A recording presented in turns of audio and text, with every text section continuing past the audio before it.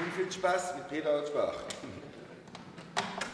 Ich habe im Jahr 2014 was gewagt, was ich bisher nicht zu wagen wagte.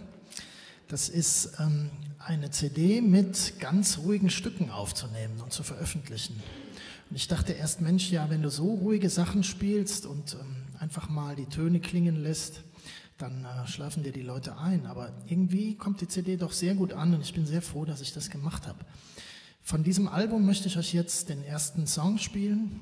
Das Stück heißt Your Eyes.